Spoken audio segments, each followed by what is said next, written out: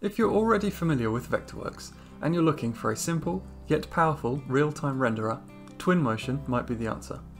Twinmotion is an immersive 3D architectural visualization tool that lets you produce high quality images, panoramas, videos, and 360 degree videos in no time at all. Here we're going to take a look at how you can take a high quality model built in Vectorworks over to Twinmotion. Once you have your model ready in Vectorworks, go to File, Export, and choose the Export Unreal Datasmith option. You will be given the option to adjust the quality of the model. A higher quality setting will improve the look of curved surfaces, but may also increase the file size.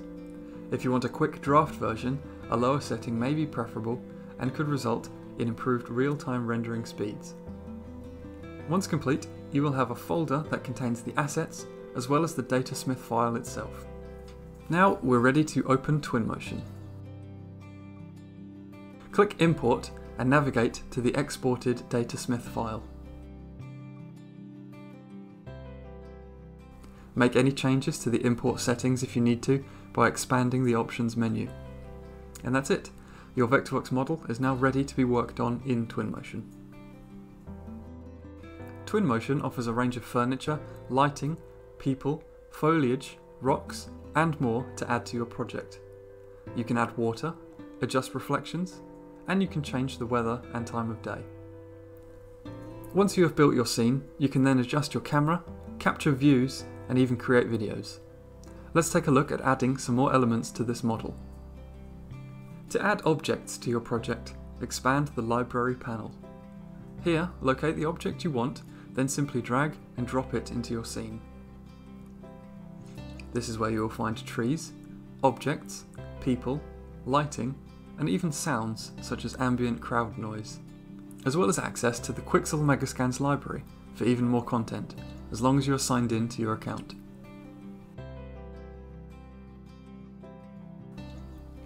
Adjusting the weather is done by clicking Settings and going to Weather, and Time of Day is found under Location.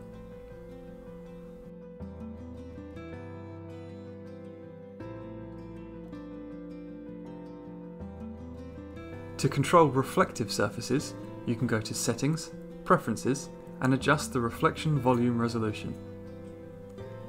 You can add a reflection probe under Library, Tools, Reflection Probe.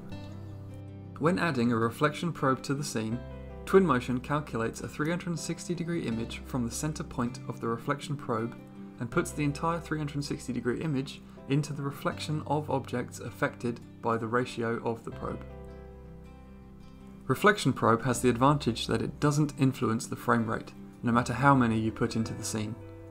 However, since it is a fixed reflection, an animated path of characters or vehicles won't be animated in the reflection.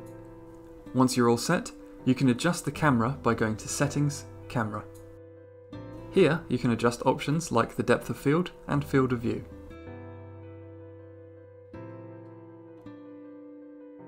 Under Media on the left is where you'll find options to create images, panoramas, videos, and even phasing so you can show the progress of your development over time.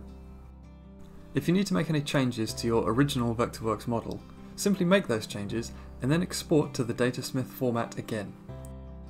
Be sure to overwrite the original Datasmith file, then click the Re-import button in Twinmotion, and the changes will be updated in your project. Twinmotion offers a huge variety of tools to give you ultimate control over the seasons, weather, and location of your project. Adding an ocean is simple, as is using the standard water materials in the library.